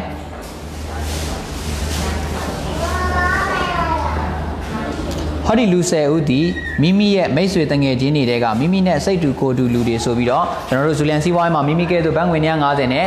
ဝင်ရောက်ထားတဲ့သူတွေဖြစ်ပါတယ်။ ဟုတ်ကဲ့အဲ့လိုမျိုးမိမိမှာအဖွဲ့ဝင်10ဦးနဲ့အတူမိမိဒီစ조사ရင်းနဲ့ရောင်းမှုဆောင်စီမံခန့်ခွဲဆိုတဲ့ယာရုနဲ့တလားရဲ့ဝင်ငွေပိုက်8000တထောင်ရပြီဆိုရင်ကျွန်တော်တို့ဇူလန်စီးပွားရေးမှာရာခိုင်နှုန်းပြေရက်တည်နိုင်တဲ့ခေါင်းဆောင်တယောက်ဖြစ်ပြီးဖြစ်ပါတယ်။တကယ်လို့ကျွန်တော်ဒီနေရာမှာမိမိကဲ့သို့ပဲမိမိနဲ့လက်တွဲလာတဲ့အဖွဲ့ဝင်တွေလည်းဇူလန်စီးပွားရေးမှာရောင်းမှုဆောင်ယာတုနဲ့တလဝင်ငွေပတ်8000တထောင်ရစေခြင်းနဲ့ဆိုရင်မိမိလှုပ်ဆောင်ခဲ့တဲ့ပုံစံတိုင်းလေပြန်လည်ကူညီရင်းနဲ့လက်တွဲခေါ်ခြင်းအပြင်မိမိရဲ့အဖွဲ့ဝင်တွေမှာမကြခင် ဟောဒီနံပါတ်1တစ်ဖွဲ့ကအမှတ်9000ပြည့်ပြီးနောက်ပိုင်းမှာ SE ဆိုတဲ့ယာတူရရှိလာပြီဆိုရင်ကော်မတီကနေပြီးတော့မိမိရဲ့အဖွဲ့အစည်းတွေကနေမိမိကဲ့သို့ခေါင်းဆောင်တယောက်ရှိလာတဲ့အတွက်နောက်ထပ် SSE လို့ခေါ်တဲ့ထက်ဆင့်ရောင်းမှုဆောင်စီမံခန့်ခွဲဆိုတဲ့ယာတူကိုတိုးမြင့်ပေးမှာဖြစ်ပြီးတော့ကျွန်တော်တို့ခုနကတော့ရိုးရိုးရောင်းမှုဆောင်ယာတူနဲ့ထက်ဆင့်ရောင်းမှုဆောင်ယာတူရဲ့ကွာခြားချက်လေးကိုကျွန်တော်ဒီနေရာမှာမြင်သာအောင်ရှင်းပြပေးခြင်းပါတယ်အဲ့ဒီမှာဘယ်လိုမျိုးကွာခြားချက်ရှိလဲဆိုတော့ကျွန်တော်ထက်ဆင့်ရောင်းမှုဆောင်ယာတူကိုရသွားပြီဆိုရင်မိမိရဲ့တလဝင်ငွေသည် ဘတ်တစ်သောင်းကနေပြီးတော့မှဘတ်တစ်သောင်းခွဲအထက်ကိုတိုးမြင့်ပြီးတော့ရပိုင်ခွင့်ရှိလာမှာဖြစ်ပါတယ်ဆက်လက်ပြီးတော့ရပိုင်ခွင့်မှာဆိုရင်လည်း၃ချက်ကနေပြီးတော့မှ၅ချက်ထိတိုးမြင့်ခံစားခွင့်ရှိမှာဖြစ်ပါတယ်အဲ့ဒီ၅ချက်ထဲမှာဆိုရင်ကျွန်တော်တို့အာရှအလေခီးစဉ်အဖြစ်နဲ့ တစ်နှစ်တစ်ကြိမ်တွားရောက်ခွင့်ရမှာဖြစ်ပြီးတော့ဒီခီးစဉ်တွေဒီကျွန်တော်ကုန်ကြငွေအနှိမ်ဆုံးဘတ်3000အထက်ကိုကုန်ကြစိတ်ရှိတာဖြစ်ပြီးတော့ဒါပေမဲ့ကုမ္ပဏီကနေမိမိဒီလေခီးစဉ်တွေကိုကိုယ့်ရဲ့အိတ်ထဲကငွေနဲ့စိုက်ပြီးတော့သွားကြမလို့ပဲနဲ့ကုမ္ပဏီရဲ့ရောင်းအားတွေကနေပြီးတော့မှကျွန်တော်တို့တစ်နှစ်လုံးလုံးစုထားပေးပါတယ်အဲ့ခါကျတော့ဒီညမှာဆိုလို့ရှိရင်ကျွန်တော်တို့ယာတူးလည်းတိုးလာတယ်ရပိုင်ငွေလည်းများလာသလိုဝင်ငွေလည်းများလာတယ်အခွင့်အရေးတွေလည်းရှိလာတယ်အဲ့တော့ကျွန်တော်ပြောချင်တာကကျွန်တော်ဇူလန်စီးပွားရဲ့မှာမိမိဒီ SC ကနေ SSC ယာတူကိုတိုးတက်ပြောင်းလဲလိုက်တာနဲ့ဝင်ငွေအားဖြင့်အများကြီးတိုးတက်မှုရှိလာတယ် ကျွန်တော်အနေနဲ့အကြံပေးချင်တာကတော့ကျွန်တော်ဥပမာဇူလန်စီးပွားရေးမှာနီးစနစ်အနေနဲ့လှုပ်ဆောင်မယ်ဆိုလို့ရှိရင်ကျွန်တော်တို့ကဟောဒီပထမအဦးဆုံး SC ဆိုတဲ့ယာတူအမှတ်9000ပြည့်ဖို့အတွက်ကိုအချိန်3လလောက်နဲ့လှုပ်ဆောင်လို့ရပါတယ်ဒီချိန်3လလောက်နဲ့ကျွန်တော်ဘယ်လိုလုပ်မလဲဆိုရင်တစ်လမှာအမှတ်3000ရှာမယ်15တစ်ပတ်မှာအမှတ်1500ရှာမယ်တစ်ရက်မှာအမှတ်100ရအောင်ရှာမယ်ဆိုရင်3လဆိုလို့ရှိရင်ကျွန်တော်တို့ SC ဆိုတဲ့ယာတူနဲ့ကျွန်တော်တို့ဝင်ငွေအားဖြင့်ပန်း8000တောင်းကိုရပိုင်ခွင့်ရှိမှာဖြစ်ပါတယ် မိမိကဲသို့လှုပ်ဆောင်ပြီးနောက်ပိုင်းမှာမိမိရဲ့အဖွဲ့အစည်းကိုလည်းနောက်ထပ်3လအတွင်းမှာထပ်မံပြီးတော့ခေါင်းဆောင်တယောက်ဖြစ်လာအောင်မွေးထုတ်နိုင်မယ်ဆိုရင်တော့အချိန်6လကျော်9လလောက်နဲ့မိမိဒီနောက်ထပ် SSC ဆိုတဲ့ယာရုကိုတိုးမြင့်ခံစားခွင့်ရှိမှာဖြစ်ပြီးတော့ဝင်ငွေအားဖြင့်1000ကနေ1000ခွဲအထက်ထိရရှိလာမှာဖြစ်ပါတယ်ကျွန်တော်ပြန်ပြီးတော့တာမန်လောက်ကိုချိန်ကြည့်မယ်ဆိုလို့ရှိရင်လွန်ခဲ့တဲ့6နှစ်ကျော်9နှစ်လောက်တော့ကျွန်တော်စက်ရုံလက်ရုံမှာလုပ်ခဲ့ပါတယ်အဲ့ဒီချိန်မှာတော့ဆိုလို့ရှိရင်တရက်ရက်ဝင်ငွေဒီဘတ်300မှာရှိတယ်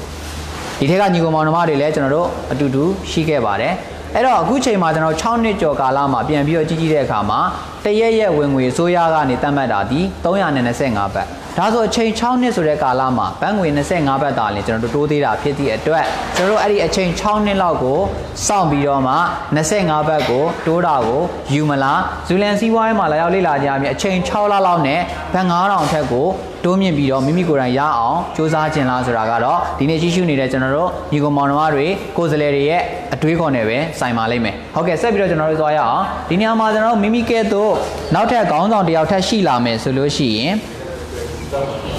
ကျွန်တော်ဇူလန်ကော်မတီကနေပြီးတော့ SC ဆိုတဲ့ယာတူနှစ်လိုင်းရှိလာတဲ့အတွက် SM လို့ခေါ်တဲ့အယောင်းမန်နေဂျာယာတူကိုတိုးမြင့်ပေးမှာဖြစ်ပါတယ်ဒီနေရာမှာလည်းပဲကျွန်တော်တို့စောစောတော့ထက်ဆင့်ရောင်းမှုဆောင်ယာတူနဲ့အယောင်းမန်နေဂျာယာတူမှာဘယ်လိုမျိုးကွာခြားချက်တွေရှိလာလဲထပ်ပြီးတော့လေ့လာကြည့်မယ်ဆိုရင်ကျွန်တော်တို့အယောင်းမန်နေဂျာတယောက်ဖြစ်လာရင်မိမိရဲ့တစ်လဝင်ငွေဒီဘတ်တစ်သောင်းခွဲကနေပြီးတော့ဘတ်2000အထက်ကိုရရှိလာမှာဖြစ်ပါတယ်ဒီညမှာဆိုလို့ရှိရင်ဘတ်1000ကနေဘတ်2000ရရှိသည့်အပြင်မပြီးသေးပဲနဲ့ကျွန်တော်တို့ဇူလန်ကော်မတီကနေနံပါတ်1အချက်ကနေပြီးတော့နံပါတ်6ချက်ထိ ရပိုင်ခွင့်ရှိလာမှာဖြစ်ပါတယ်ဒီထဲမှာဆိုလို့ရှိရင်လည်းခုနကတော့အာရှလေခီးစဉ်အဖြစ်နဲ့ထပ်မံပြီးတော့တွားရောက်ခွင့်ရှိမှာဖြစ်ပါတယ်အဲ့တော့ကျွန်တော်တို့ဒီနေရာမှာကြီးစုနေတဲ့ညီကောင်မောင်နှမတွေအနေနဲ့ကျွန်တော်ဇူလန်ကော်မတီမှာယာတူးတိုးတိုင်း ဝင်ငွေတွေတိုးလာမှာဖြစ်ပြီးတော့ရပိုင်ခွင့်တွေများလာမှာဖြစ်ပါတယ်။ယာဒူးတိုးဖို့ရပိုင်ခွင့်တွေများလာဖို့ဝင်ငွေတွေတိုးလာဖို့ဆိုတာကလည်းကျွန်တော်ထူးတလဲကြီးပင်ပန်းမှာမဟုတ်တဲ့အတွက်မိမိကဲ့သို့မိမိရဲ့အဖွဲ့ဝင်တွေကိုရအောင်ကူညီပြီးလက်တွဲခေါ်ရင်းနဲ့ရလာမှာဖြစ်တဲ့အတွက်ရေမြင့်ကြာမြင့်တယ်လို့မျိုးပဲမိမိရဲ့အဖွဲ့အစည်းကိုတိုးတက်ကြီးထွားလာအောင်မိမိကဲ့သို့ရလာအောင်နီလန်းတွေကိုမျှဝေပေးမယ်အတူတူလက်တွဲခေါ်ခြင်းအပြင်မိမိနဲ့အတူမိမိရဲ့အဖွဲ့အစည်းတဲ့တူညီတဲ့ရည်မှန်းချက်ပန်းနိုင်စီကိုအတူရောက်မှာဖြစ်ပါတယ် ဟုတ်ကဲ့ထပ်မံပြီးတော့ကျွန်တော်တို့နောက်ထပ်မိမိရဲ့အဖွဲ့အစည်းထဲမှာခေါင်းဆောင်၄ဖွဲ့ရှိလာပြီဆိုလို့ရှိရင်ကော်မတီကနေပြီးတော့မှမိမိကို SSM လို့ခေါ်တဲ့ထက်ဆင့်ရောင်းမန်နေဂျာဆိုတဲ့ယာတုကိုတိုးမြင့်ပေးမှာဖြစ်ပါတယ်။ဟောဒီထက်ဆင့်ရောင်းမန်နေဂျာဆိုတဲ့ယာတုကိုရရှိလာပြီဆိုရင်ကျွန်တော်တို့ရပိုင်ခွင့်တစ်လရဲ့ဝင်ငွေတည်တဲ့ဘတ်2000ကနေပြီးတော့မှဘတ်4000ထက်ထိရပိုင်ခွင့်ရှိလာမှာဖြစ်ပါတယ်။ ဒါအပြင်ကျွန်တော်ဇူလန်ကုမ္ပဏီရပိုင်ခွင့်12ချက်ရှိတဲ့ထဲကနေပြီးတော့9ချက်အထိရပိုင်ခွင့်ရှိမှာဖြစ်ပါတယ်။နော်ဒီခုနှစ်ချက်ထဲမှာဆိုလို့ရှိရင်ကျွန်တော်စောစောတော့အာရှလေခီးစဉ်ဖြစ်နေတွားရောက်ခွင့်ရမှာဖြစ်ပါတယ်ထပ်မံပြီးတော့ကျွန်တော်တို့ဇူလန်ကုမ္ပဏီမှာတာမန်အလုပ်လုပ်ယုံနဲ့ကျွန်တော်တို့လွယ်ကူစွာမရရှိနိုင်တဲ့အရာကတော့ကျွန်တော်ကိုပိုင်စိန်ကန်ကားစီးပိုင်ခွင့်ပေါ့ဗျာနော်ဒီညမှာကျွန်တော်တို့ကားပိုးငွေနော်ဒီညမှာကျွန်တော်ဇူလန်ကုမ္ပဏီကနေပြီးတော့မှ ကားပိုးငွေအဖြစ်နဲ့ထပ်မံပြီးတော့ကျွန်တော်တို့ဒီ SSM ဆိုတဲ့အယောင်ထပ်ဆင့်ရောင်းမန်နေဂျာရာထူးကိုရရှိပြီးတဲ့သူတိုင်းကိုကျွန်တော်တို့ရပိုင်ခွင့်ရှိမှာဖြစ်ပါတယ်ပြောချင်တာကတော့ကျွန်တော်တို့ဟောဒီထက်ဆင့်ရောင်းမန်နေဂျာဆိုတဲ့ယာတူရပြီးတဲ့နောက်ပိုင်းမှာဇူလန်ကုမ္ပဏီကနေပြီးတော့မိမိကိုဇိမ်ကန်ကားမျိုးစီးနိုင်ဖို့အတွက်ကားဘုံငွေကိုကျွန်တော်တို့15ရက်တစ်ကြိမ်15ရက်တစ်ကြိမ်မိမိရဲ့ဘောနက်ရှင်းတန်းထဲမှာတခါတည်းထည့်ပေးမှာဖြစ်ပါတယ်အဲကြောင့်ကျွန်တော်ဇူလန်စီးပွားရေးမှာလှုပ်ဆောင်တဲ့ ညီကိုမောင်နှမမိသားစုဝင်တိုင်းကျွန်တော်တာမန်ဘဝထက်မြင့်မားတဲ့ဘဝကိုရမှာဆိုတာသိကြပါတယ်เนาะဆက်ပြီးတော့ကျွန်တော်တို့သွားရအောင်ဒီညမှာဆိုလို့ရှိရင်ထပ်မံပြီးတော့ကျွန်တော်တို့ခေါင်းဆောင်6ဖွဲ့ဖြစ်အောင်တည်ဆောက်နိုင်မယ်ဆိုလို့ရှိရင်တော့ကျွန်တော်တို့ဇူလန်ကော်မီကနေပြီးတော့မှ DSM လို့ခေါ်တဲ့စိတ်မန်နေဂျာယာတုကိုရပိုင်ခွင့်ရှိမှာဖြစ်ပြီးတော့စိတ်မန်နေဂျာယာတုကိုရပြီဆိုတာနဲ့ကျွန်တော်တို့တစ်လရဲ့ဝင်ငွေသည် ဘတ်9000ကနေပြီးတော့မှဘတ်သိန်းကနန်းအထိကိုရပိုင်ခွင့်ရှိပြီဖြစ်ပါတယ်နော်ပြီးလို့ရှိရင်ကျွန်တော်ဇူလန်ကော်မတီရပိုင်ခွင့်12ချက်ထဲမှာဆိုလို့ရှိရင်လည်းရပိုင်ခွင့်17ချက်အထိကိုပိုင်ဆိုင်ခွင့်ရှိသွားပြီဖြစ်တယ်အဲ့ဒီမှာဆိုလို့ရှိရင်ရပိုင်ခွင့်17ချက်မှာဆိုလို့ရှိရင်ကျွန်တော်ဘာတွေရနိုင်လဲဆိုလို့ရှိရင်ပထမအောင်ဆုံးအနေနဲ့ကျွန်တော်တို့ရပြီးခဲ့တဲ့အာရှလေခီ ပြီးလို့ရှိရင်ထပ်မံပြီးတော့ဥရောပလေခီဥရောပလေခီမှာဆိုလို့ရှိရင် VIP စနစ်နဲ့သွားရတယ်ပေါ့နော်ဒီညမှာဆိုလို့ရှိရင်ဥရောပခီးစဉ်ကိုတစ်ခါသွားဖို့အတွက်ဘတ်3သိန်းထက်ကျွန်တော်တို့ကုန်ကြစိတ်ရှိပါတယ်ဒါကိုကော်မတီကနေပြီးတော့မိမိတဦးလှုပ်ဆောင်လို့အောင်မြင်လာရင်မိမိရဲ့မိသားစုဝင်တွေကနေပြီးတော့အဖော်တယောက်ခေါ်သွားခွင့်ရှိပါတယ်အနည်းဆုံး2ဦးထက်သွားခွင့်ရှိတဲ့ခီးစဉ်မျိုးဖြစ်ပါတယ်6ညရီ9လောက်ကြာတဲ့တပတ်တာခီးစဉ်ဖြစ်ပါတယ် ဒီနေရာမျိုးကိုကျွန်တော်တို့မြန်မာထိုင်းကမ္ဘောဒီးယားလာအိုတွေလည်းတွားရောက်ထားပြီးသားဖြစ်ပါတယ်တကယ်လို့နိုင်ငံရေးတာတည်ငြိမ်ခဲ့မယ်အခုလိုမျိုးကျွန်တော်တို့ဒီ COVID-19 လိုမျိုးမဖြစ်ခဲ့ဘူးဆိုလို့ရှင်တော့ဒီ2020 2021မှာဆိုလို့ရှိရင်ကျွန်တော်တို့ဇူလင်ကော်မတီရဲ့ဒီရပိုင်ခွင့်နော်ဥရောပခီးစဉ်အနေနဲ့အမေရိကနိုင်ငံလိုမျိုးတကယ်နိုင်ငံကြီးတွေကိုတွားရောက်ပြီးတော့လဲပတ်ခွင့်ရရှိမှာဖြစ်ပါတယ်နော်အဲဒါကြောင့်ကျွန်တော်ဒီနေရာမှာဒါတွေမပြီးသေးဘဲနဲ့နောက်ထပ်ကျွန်တော်တို့ ကားမှာဆိုလို့ရှိရင်လည်းဒစည်းပြီးုံနဲ့မဟုတ်သေးပဲနဲ့ဒစည်းဘိုးငွေကြည်တာနဲ့ထပ်မံပြီးတော့နောက်ထပ်အစည်းအစီးတွေကိုကျွန်တော်တို့ထပ်မံပြီးတော့ရပိုင်ခွင့်ရှိမှာဖြစ်ပါတယ်ကားတွေမပြီးသေးပါဘူးနောက်ထပ်ကျွန်တော်တို့ဇူလန်ကော်မတီကနေပြီးတော့အိမ်မိမိဘဝမှာစင်တန်းရှိတဲ့အိမ်မျိုးနဲ့ပြည့်ပြည့်စုံစုံနေ ခွင့်မရခဲ့သေးဘူးဆိုလို့ရှိရင်ကျွန်တော်ဇူလန်စီးပွားရေးကနေကြိုးဆိုပါတယ်ဇူလန်စီးပွားရေးမှာဝင်ရောက်လုပ်ကင်မယ်ဆိုလို့ရှိရင်တော့ကျွန်တော်ဇူလန်ကုမ္ပဏီမှာကိုပိုင်အိမ်အဖြစ်နဲ့ကုမ္ပဏီကနေပြီးတော့မှထိမိပေးမှာဖြစ်ပါတယ်ဒီနေရာမှာကျွန်တော်ညီကိုမောင်နှမတွေကိုနားလည်အောင်ပြောရမယ်ဆိုတော့ကျွန်တော်ဇူလန်ကုမ္ပဏီကနေပြီးတော့မှရပိုင်ခွင့်ထဲမှာကားပေးတဲ့အိမ်ပေးတဲ့ဆိုတဲ့နေရာမှာကားတွေအိမ်တွေပေးခြင်းမျိုးမဟုတ်ဘဲနဲ့ကားဝယ်ဖို့ငွေနဲ့အိမ်ဝယ်ဖို့ငွေဖြစ်ပါတယ်ကိုလိုချင်တဲ့ကားမိမိကြိုက်တဲ့အမျိုးအစားကိုဝယ်ယူခွင့်ရှိသလို မိမိလိုချင်တဲ့အိမ်မျိုးကိုလည်းဝယ်ယူခွင့်ရှိမှာဖြစ်ပါတယ်။ကုမ္ပဏီကနေပြီးတော့မှအိမ်ဖိုးငွေအဖြစ်ကားဖိုးငွေအဖြစ်ဆိုပြီးတော့မှဒီရပိုင်ခွင့်၁၁ချက်ထဲမှာထည့်ပေးမှာဖြစ်ပါတယ်။ဒါလေးကိုကျွန်တော်ရှင်းအောင်မျှဝေခြင်းဖြစ်ပါတယ်။ဒါတွေမကသေးဘဲနဲ့ကျွန်တော်ဇူလန်စီးပွားရေးမှာပေါ့နော်မိမိဒီအောင်မြင်လာပြီဆိုလို့ရှိရင်ကျမ်းမာရေး ကောင်းမွန်မှုပြီးလို့ရှိရင်ဒီစီးပွားရေးမှာကျွန်တော်လှုပ်ဆောင်သွားမယ်ဆိုလို့ရှိရင်မိမိမရှိတော့တဲ့နောက်ပိုင်းမှာအမွေဆက်ခံခွင့်တွေလည်းရရှိမှာဖြစ်ပြီးတော့မိမိရဲ့နာမီကုံကိုလည်းပဲကျွန်တော်တို့ကောင်းမွန်စွာတိဆောက်ပိုင်ခွင့်ရှိမှာဖြစ်ပါတယ် အဲ့တော့ကျွန်တော်ဒီနေ့ live မှာကြည့်ရှုနေကြတဲ့ညီကောင်မောင်နှမတွေကိုပြောချင်တာကတော့ကျွန်တော်ဇူလန်စီးပွားရေးမှာအမြင့်ဆုံးအထိမရောက်သေးခင်စက်ကြောင်းမှာတောင်မှပဲဟောဒီ Diamond Sale Manager လို့ခေါ်တဲ့စိတ် manager အဆင့်လောင်းတဲ့တင်ကျွန်တော်အားလုံးရဲ့ဘဝတွေဒီတာမန်ထက်တိုးတက်ပြောင်းမွန်မှာဆိုတာသိကြပါတယ်။ဘာကြောင့်လဲဆိုတော့ကျွန်တော်ဘဏ်ငွေတစ်လောက်ဘဏ်9000ကနေသိန်းကနန်းဆိုလို့ရှိရင်ဒါမြန်မာငွေနဲ့ဆိုလို့ရှိရင်ဒါလက်ရှိအနေထားမှာဆိုလို့ရှိရင်30ထက်မှရှိနေပြီ။ နော်30ထဲမှာရှိနေပြီဖြစ်တဲ့အတွက်ကျွန်တော်တွေကနေပြီးတော့ဘယ်လိုပဲဖြစ်ဖြစ်ဒူလန်စီးပွားရေးမှာလှုပ်ဆောင်သွားမယ်ဆိုလို့ရှိရင်တော့တာမန်လာခစားဝန်တန်းဘဝကနေကျော်လွန်ပြီးတော့မိဘွားသည်တည်ငြိမ်တဲ့ဝင်ငွေနဲ့အတူမိသားစုပြည့်စုံစွာနေရမှာဖြစ်ပါတယ်အဲဒါကြောင့်ဒူလန်စီးပွားရေးမှာကျွန်တော်တို့မိမိကဲ့သို့စိတ်တူကိုယ်တူ လူ6ဦးကိုကျွန်တော်တို့ရှာဖွေတွေးရှိပြီးနောက်ပိုင်းမှာအဲ့ဒီ6ဦးနဲ့ကျွန်တော်တို့ဒီဇူလန်စီးပွားရေးမှာအတူတူလက်တွဲပြီးတော့လှုပ်ဆောင်သွားမယ်ဆိုလို့ရှိရင်အဲ့ဒီ6ဦးဘဝလည်းဒီစီးပွားရေးရဲ့လွတ်မြောက်မှုတွေကိုရရှိနိုင်တယ်လို့မိမိအနေနဲ့လည်းပဲဇူလန်စီးပွားရေးရဲ့ထိုက်တန်တဲ့ဝင်ငွေပြီးလို့ရှိရင်အပန်းပြေခီးအနေနဲ့အာရှဥရောပခီးစဉ်တွေနောက်ကိုပိုင်ကားကိုပိုင်အိမ်နဲ့ ကျမ်းမာပျော်ရွှင်တဲ့မိသားစုဘဝကိုပိုင်ဆိုင်မှာဖြစ်ပြီးနောက်ပိုင်းမိမိမရှိတော့သည့်နောက်ပိုင်းတောင်မှပဲကုမ္ပဏီကနေမိမိရဲ့ပိုင်ဆိုင်မှုအောင်မြင်မှုတွေကိုရုပ်သိမ်းသွားမှာမဟုတ်ဘဲနဲ့မိမိနဲ့သက်ဆိုင်တဲ့သူကိုအမွေအဖြစ်နဲ့ဆက်လက်ပြီးတော့ပေးသွားမှာဖြစ်ပါတယ်။ဒါကြောင့်မိမိသည်တစ်တပင်ကောင်းရင်ငှက်တောင်းနာခိုလို့ရတယ်ဆိုလဲဥပမာတာရကားနဲ့အညီဇူလန်စည်းပွားရေးမှာမိမိလှုပ်ဆောင်ခဲ့တဲ့ရလတ်သည်မိမိရဲ့နောက်မျိုးဆက်တစ်တွေအတွက်ပါအကျိုးမြတ်တွေဖြစ်ထွန်းမှာဖြစ်တဲ့အတွက်လက်လွတ်မခံစေဖို့ကျွန်တော်အနေနဲ့ဒါအကြံပေးခြင်းပါတယ်ပေါ့နော်ဆက်ပြီးတော့ကျွန်တော်လေ့လာကြည့်အောင် ကျွန်တော်ဇူလန်စည်းပွားရေးမှာနောက်ထပ် CDM, RCM, RCD ဆိုတဲ့ယာတူးကြီး၃ခုကိုသာကျွန်တော်ထပ်မံပြီးတော့အောင်မြင်နိုင်ခဲ့မယ်ဆိုလို့ရှိရင်တော့ဇူလန်ကော်မတီရဲ့ရပိုင်ခွင့်တွေကနေပြီးတော့တစ်လရဲ့ဝင်ငွေသည်ဘတ်တသိန်းကနေပြီးတော့မှဘတ်တန်ကနန်းအထက်ကိုရပိုင်ခွင့်ရှိမှာဖြစ်ပြီးတော့တကယ်ရရှိနေတဲ့သူတွေကိုလည်းကျွန်တော်တို့အပြင်မှာတွေ့ရှိနိုင်မှာဖြစ်ပါတယ်ပြီးရင်ဇူလန်ကော်မတီရပိုင်ခွင့်အားလုံး12ချက်လုံးကိုအောင်မြင်သွားပြီဖြစ်ပါတယ် ဟုတ်ကဲ့ဒီနေ့ကျွန်တော်တို့ live မှာကြည့်ရှုနေကြတဲ့ညီကောင်မောင်နှမတွေအနေနဲ့အခုဒါကျွန်တော်ရှင်းပြခဲ့လိုက်တဲ့ဇူလန်ကော်မတီရဲ့ရပိုင်ခွင့်ဒါအချင်းချုံလေးပေါ့နော်ဒါကကျွန်တော်အနေနဲ့တကယ်အရှိတဝင်းရှင်းပြစေခြင်းနဲ့တကယ်အရှိတဝင်းကိုလေ့လာစေခြင်းနဲ့ကျွန်တော်ဒီနေ့ရှင်းပြလိုက်တဲ့အချက်မှာအပိုင်းတစ်ပိုင်းဖြစ်ပါတယ်နံပါတ်1ချက်ကတော့ကျွန်တော်ဇူလန်စီးပွားရေးမှာဘတ်ငွေလေး250နဲ့ဝင်ရောက်ပြီးတော့လေ့လာလှုပ်ဆောင်မယ်ဆိုလို့ရှိရင်250နဲ့ဇူလန်မှာပေးလိုက်ရတဲ့တန်ဖိုးတွေကိုမြင်ရမှာဖြစ်ပါတယ်ပြီးလို့ရှိရင်စီးပွားရေးလှုပ်ဆောင်မယ်ဆိုလို့ရှိရင်လည်းပဲ ရလာမယ်ရပိုင်ခွင့်ဘယ်ဟာတူရရင်ဝင်ငွေဘယ်လောက်ရနိုင်တယ်ရပိုင်ခွင့်ဘယ်နှချက်ထိရနိုင်တယ်ဒါကိုကျွန်တော်တို့သိရှိရမှာဖြစ်ပြီးတော့အဲ့ဒါတွေကိုမိမိရအောင်ဘယ်လိုလုပ်ရမလဲဆိုတဲ့နီလန်နီးစနစ်တွေကိုလည်းကျွန်တော်တို့အပြင်မှာလေ့လာမယ်ဆိုလို့ရှိရင်အသေးစိတ်မိမိသိရှိရမှာဖြစ်ပါတယ်အဲ့ဒါကြောင့်ကျွန်တော်တို့ဒီຢာတွေကိုတကယ်ကျွန်တော်တို့ဒီနေ့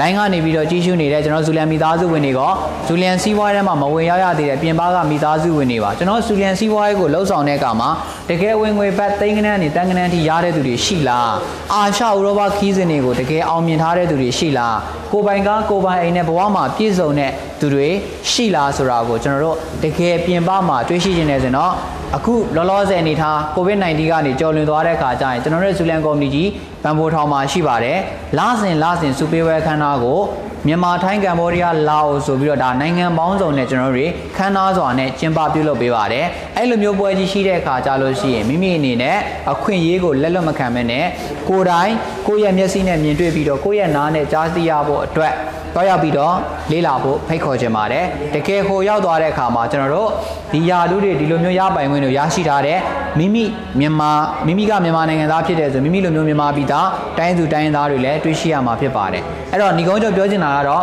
ကျွန်တော်ဒီနေ့ရှင်းပြခဲ့လိုက်တဲ့ရပိုင်ခွင့်တွေထဲမှာဘယ်ရာသူရရင်ဝင်ငွေဘလောက်ဘယ်နှစ်ချက်ထိရနိုင်တယ်ဆိုတဲ့အရာတွေပေါ်မှာတကယ်ရမရဆိုတာတကယ်လုံးတဲ့နီလန်းကိုသိရှိတဲ့သူတိုင်းနားလည်ပြီးသားဖြစ်ပါလိမ့်မယ်တကယ်လို့ကျွန်တော်ပြောလိုက်တဲ့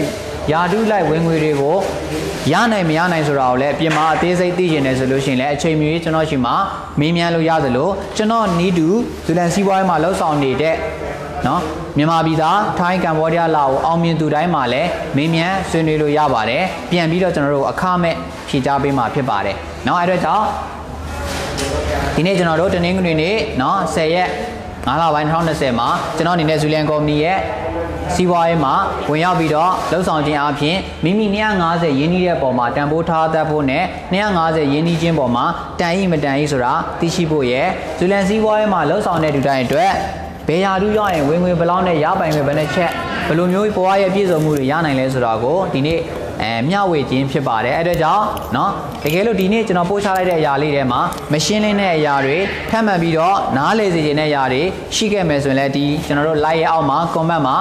ရေးပြီးတော့မေးသွားလို့ရပါတယ်နောက်ပတ်နောက်ပတ်တွေမှာလည်းနောက်ထပ်အစီအစဉ်နဲ့ကျွန်တော်တို့ပြန်ပြီးတော့စုံတွေ့ကြမယ်လို့ပြောကြရင်းနဲ့လောင်းနေပဲညီကုန်းချက်လိုက်ပါတယ်အားလုံးကိုကျေးဇူးတင်ပါတယ်